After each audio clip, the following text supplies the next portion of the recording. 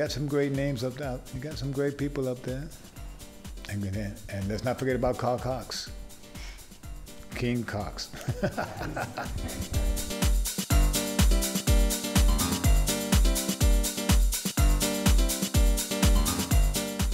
uh, I think um, every artist it's important to have a relationship with your fans because they're the ones that support you and and keep you relevant. I don't think any artist would be anyone without their fans. You don't wake up a star or you know famous. Um, it's your fans that give you that title. So it's important to give back to your fans because they're the ones that you need the support from you know today we talk about the world of social media where you have a you have a broader platform to to communicate with your fans like instantaneous almost you know what i mean um, which is a good and a bad thing uh, uh, at the same time but it's important because you're important to them so it's almost like what social media has become is really to be more involved with your fans.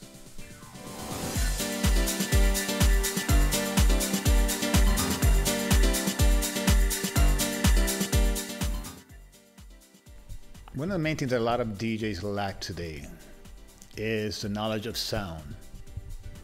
And sound is a very important part of being a DJ. I mean, there's different there's different levels of what a DJ should know. The first thing is how to first how to enjoy music. First, you have to enjoy music. You have to love records. You have to you have to you have to love to shop. You have you know what I mean.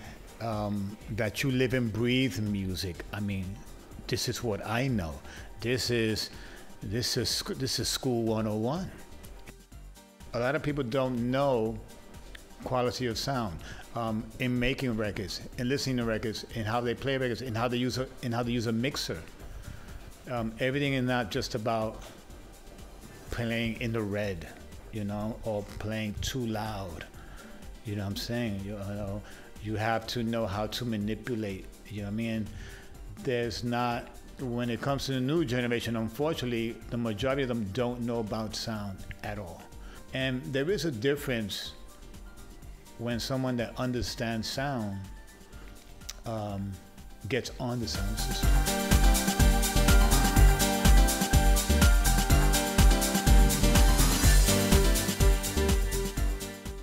Well, um, wow, you're gonna ask me something. I can't talk about bad about Pioneer. Of course not. I mean, um, I I like Pioneer. I'm actually waiting for them to send me a sound system next week to to try out. Uh, you know, the original Pioneer component is a TAD driver, which is one of the most um, best drivers out there that a lot of people really don't know. You know what I mean? I like their sound system. I love their CDJs. I'm not a fan of fader mixers, so I don't use a Pioneer fader mixer. Not because I don't like the mixer, I just don't like faders. So I think Pioneer is a good product. And I'm a, I'm a big supporter of Pioneer.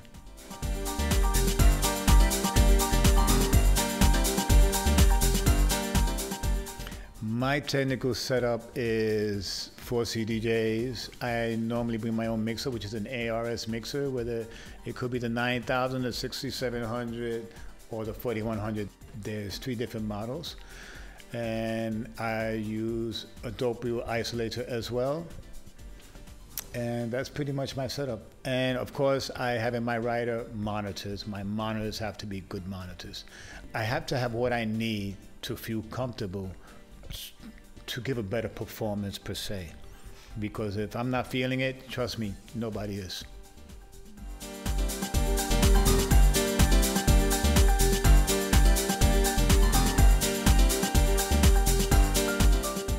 there's two top we I'll say three.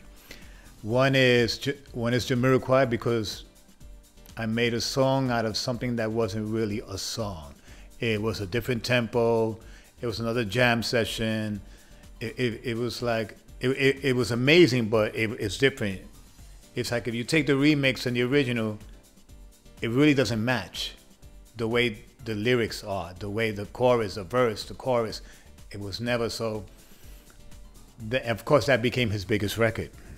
Second one will have to be Mariah Carey Dream Lover because that was the first time that we bought that the vocalist came in, the singer came in to re-sing the record because it was a pop record, and we did something different with it. Um, we rewrote the chords, we rewrote the melody practically, you know. And then third one is Mr. Loverman by Shabba Ranks, which a lot of people don't know. When I tell people, you know, you know, I make a Mr. Loverman, yeah, I did that. They go, really? No, it's like, duh. Um, that one because that was uh, that was a dancehall record. And they actually changed the name because it wasn't the name wasn't Mr. Loverman, it was called Champion Lover, but because I I, I changed the hook of the record. Um, so those three are probably my top for creativity because I actually changed everything that had nothing to do with the original. And of course, over the years, I mean, working with Seal was amazing. Donna Summer was amazing. Um, Ann Nesby from The Sounds of Blackness. Uh, you know, I've got to work with some really amazing. I even work with Julio Iglesias, which is amazing. and people may laugh, oh, Julio Iglesias, but man, it's like you're talking about icons. You're talking about some of the greatest singers. We're not talking about somebody that just goes boo, boo, boo. We're talking about legends here. Oh, and Aretha Franklin, another one. How can I forget Aretha Franklin? My next one on my list is Patti LaBelle.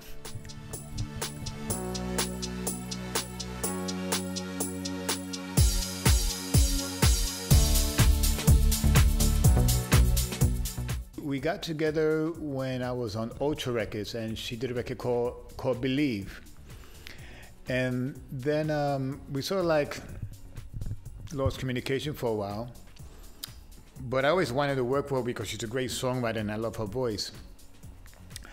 But she was going through some, you know, personal issues and stuff, so she wasn't in the right place, you know, to get together. So, but I always kept pushing, I always kept pushing.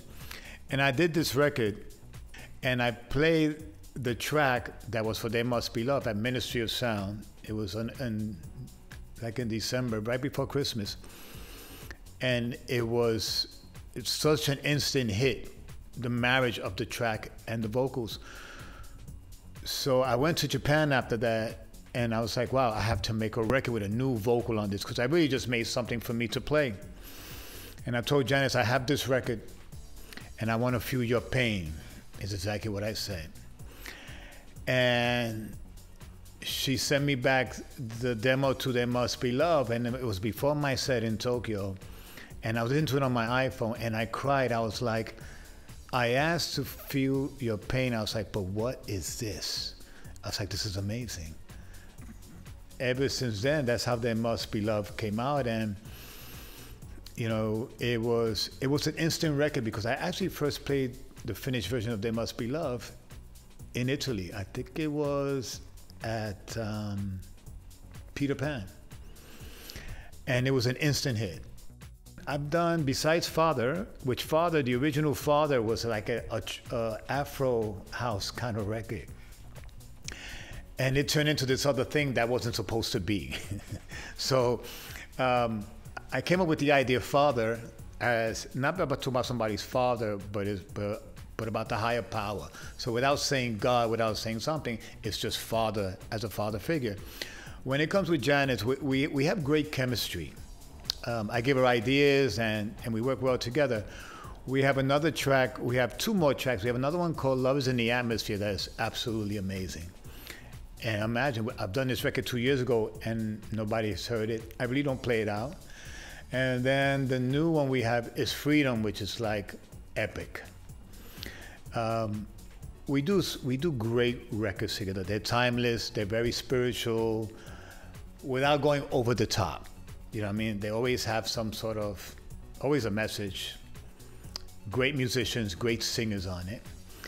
And so, because she's been on X Factor, so like we cannot release any of those records until another three months, unfortunately. So people are going to have to wait.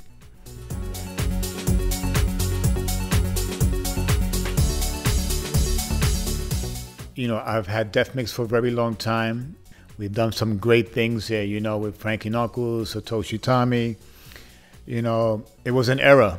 You know, we did we did 30 years, which is really a lot for a company. We're actually an independent record company that really, or brand that dedicated to club music and to the dance floor, basically. And Diridim really is just me moving forward and creating something new on a global level.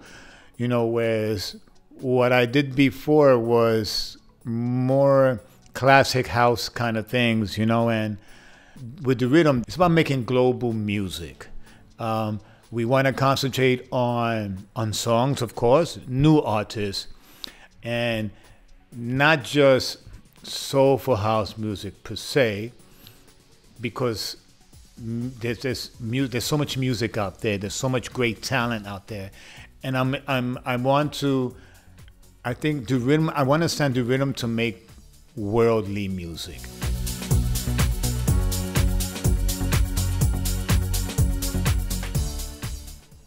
I have many. I have years. It's funny because today, kind of like ironic, because today I had a Frankie moment.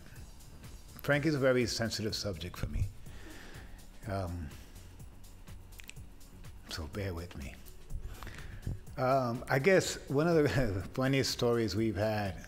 Um, I remember when we first came to Italy, and uh, and we had a driver that he spoke no English.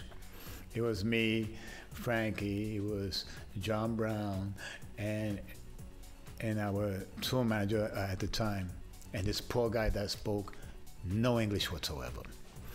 So we get in. So we're not staying at the hotel. I've never seen Frankie get really upset. I was I was always the one that would be the bad guy with the attitude. Frankie was always so sweet, so soft. You know, Frankie was a teddy bear. It was the first time I ever told, saw Frankie told somebody he was going to punch him in the face. I was like, whoa. And so we went to, to some uh, rotonda, and the guy was going like this, and we finally stopped. I get out of the car because I needed to take a break because it was all of us in the car. In one car, there was five of us. And, you know, Frankie and John were two big guys, and I'm in the back with them. And no, with anyway, so the guy, I get out the car, and the guy starts to leave, and Frankie's yelling at him. But what about David? You're leaving David behind. You're leaving David behind. It was like, yo, it's like, where you going? Where you going? Where you going? So we're driving on the highway. There's burning cars on the highway. We finally get to to uh, Torino. Now we're supposed to stay at this hotel and leave to drive from Torino to Milan the next day. We come to the hotel. The name of the hotel was four star, but it was a one star hotel. We arrive. There was one guy that does everything. He had some. He had glasses that look like this. Okay, we call them Coke bottles. So it's dark, and we go in and then so we go to the rooms. I'm the first one. It's this really shitty hotel. I'm the first one to go inside the room. It was like so nasty. I ran out. I was like, stop, stop, everybody stop. We're not staying here. We're leaving. Don't unpack your bags. Don't do nothing. We're gone. So that was just one of, one of. I mean, I mean, we've had so many over the years. And it's funny because I look at a picture that somebody sent me today. That's why I got kind of like emotional. And, you know, whenever you see a picture of me and Frankie, it's like we look like a couple. Frankie was always good for a hug. But it's like, it's, it's those moments that it's like, and when I look at them, it, mm, it's like I can't, you know, people put up things on, on social media with his voice in interviews. I can't look at him. I can't hear. I can't hear his voice. You know what I mean? And it's funny. It's what four years now. It's, it's, it's been four years, but it's almost like yesterday. I mean, you know, we created something together, and we were spiritually a team. I mean? And and that's, that's just how we were. You know what I mean? And his passing really um, it affected me in many ways, and he was, we were all, and we were, we were Def Mix. It was Dave Mars and, and Frankie Knuckles. So really, losing Frankie, it wasn't just losing a friend or brother. It was also losing someone that was part of me creatively. Even though we didn't make music all the time, but we just brought it together.